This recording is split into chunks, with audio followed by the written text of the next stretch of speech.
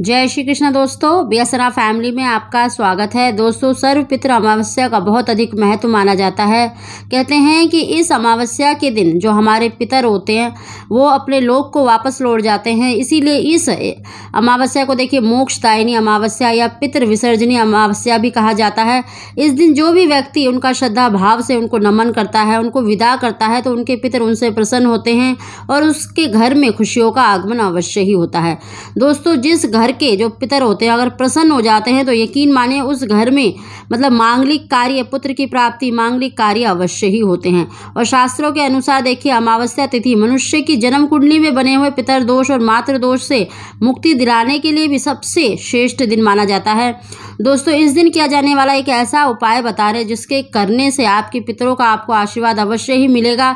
अगर आपकी जन्म कुंडली में मतलब पितर दोष है तो वो भी अवश्य ही समाप्त होगा।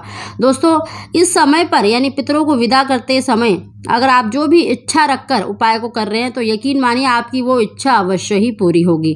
दोस्तों, उसकी जानकारी देने से पहले अगर अभी तक आपने बी फैमिली चैनल को सब्सक्राइब नहीं किया तो सब्सक्राइब अवश्य ही कर लें। बगल में बेलाइकन को दबा दें, जिससे मेरी आने वाली सभी वीडियो का नोटिफिकेशन सबसे पहले आप तक पहुँच सके।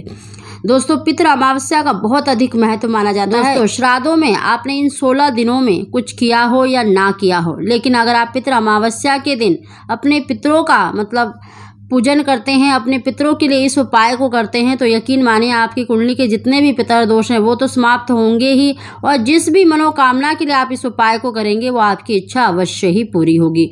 दोस्तों पितृ अमावस्या के दिन आपको पंचग्रास अवश्य निकालना चाहिए, यानी गाय के लिए, कुत्ते के लिए कौए के लिए, और अग्नि और पितरों के लिए अवश्य ही ग्रास निकालना चाहिए। आपको एक पत्तल पर, एक पत्तल लेना है, और उस पर आपको पाँच ग्रास, जो भी आप घर में बनाते हैं, पूड़ी, सब्ज़ी खीर, जो भी मीठा आप बनाते हैं, उसको पाँच जगह पर रखना चाहिए। इन पंच ग्रास को अगर गाय का, देखिए गाय को पत्तल पर रखकर खिलाया जाए, कुत्ते का, कुत्ते को और कौवे का कौए को और अग्नि का मतलब अग्नि पर निकाला जाए और पितरों का, पीपल के पेड़ के नीचे रखना चाहिए।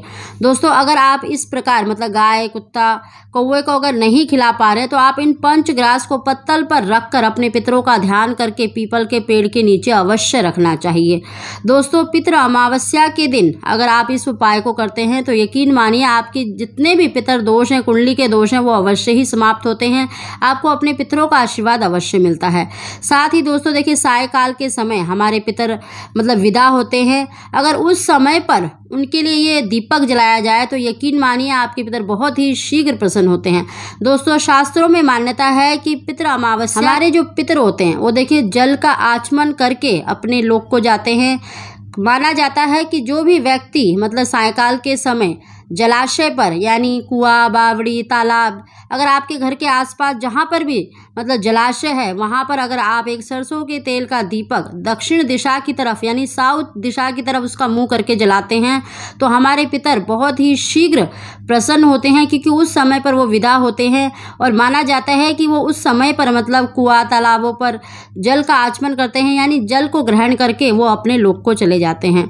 दोस्तों, अगर आपके घर के आसपास जैसे जलाशय नहीं है, कोई कुआ, तालाब नहीं है तो आप अपने पितरों के नाम से दीपक मतलब पीपल के पेड़ के नीचे भी जला सकते हैं।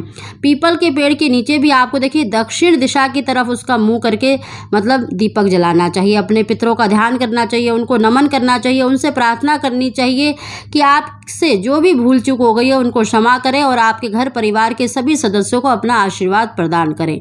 दोस्तों, इस तरह से प्रार्थना अवश्य करें। अगर आपके घर के आसपास देखिए, जलाशय है, यानी कुआ तालाब है तो वहाँ पर भी और पीपल के पेड़ के नीचे भी अगर आप दोनों ही जगह अपने पितरों के नाम से दीपक जलाते हैं, दक्षिण की तरफ़ मुँह करके दीपक जलाते हैं तो यकीन मानिए आपके जो पितर हैं जाते जाते आपको आशीर्वाद अवश्य दे जाएँगे और आपकी जो इच्छा है, वो शीघ्र पूरी होगी। दोस्तों, पितर अमावस्या के दिन इस उपाय आप अवश्य करें। निश्चित ही आपको लाभ मिलेगा।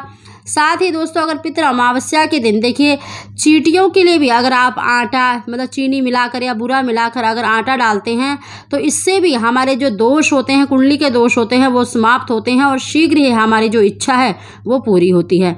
दोस्तों, पितृ अमावस्या के जितने भी उपाय किए जाए, वो कम होते हैं।